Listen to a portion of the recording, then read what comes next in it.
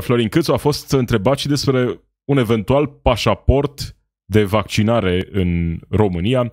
Acesta spune că discuția este prematură pe această temă.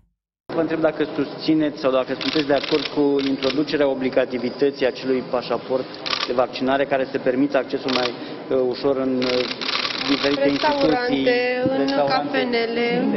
Nu am avut această discuție uh, în guvern, deci nu este o discuție oficială. Am văzut discuție în spațiu public.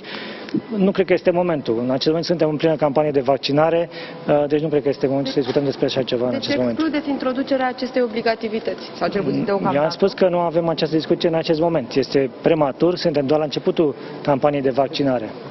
În guvern, în guvern aplic, asta înțelegem, că nu excludeți introducerea deci, obligativității acestui Eu vă spun că discuția este prematură, suntem la începutul campaniei de vaccinare, nu luăm în calcul în acest moment discuția aceasta. La deci avem următoarele date. Știm că în acest moment sunt deja țări în care se vorbește despre asta.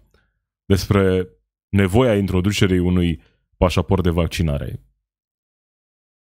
Poți să privești asta așa uh, din punctul de vedere al conspiraționistului care găsește întotdeauna câte o explicație din asta uh, ascunsă pentru ce se întâmplă sau poți să privești lucrurile așa cum sunt. Și atunci e destul de ușor de înțeles că da, probabil la un moment dat se va ajunge în această situație în care va exista acest uh, pașaport de vaccinare.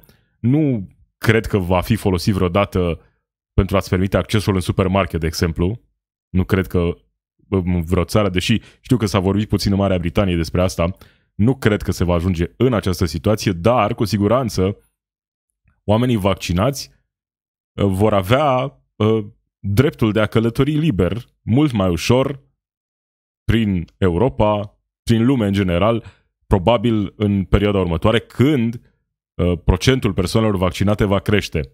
Iar cei care visează la o vacanță în vara anului 2021 uh, afară din țară, undeva într-o țară, poate membra Uniunii Europene sau altundeva prin lume, cred că e cumva logic să te aștepți că da, se va ajunge la această situație și nu neapărat că va fi o decizie a României în acel moment, ci va fi o decizie luată la nivel internațional pentru a facilita turismul în condiții de siguranță.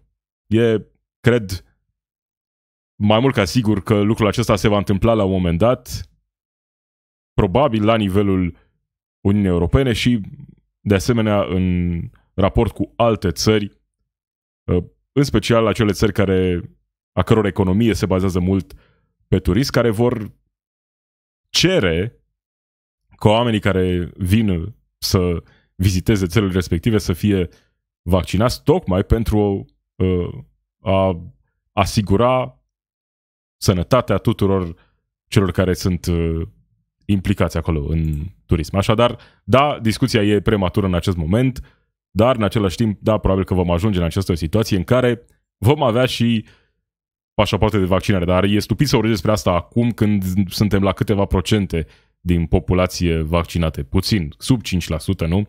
Persoane vaccinate în acest moment. Trebuie să crească procentul ăsta ca să ajungem în această situație în care da, să putem aduce în discuție subiectul ăsta și nu doar la nivel de România, că nu suntem noi singuri pe planeta asta, trebuie să fie o decizie luată la nivel internațional.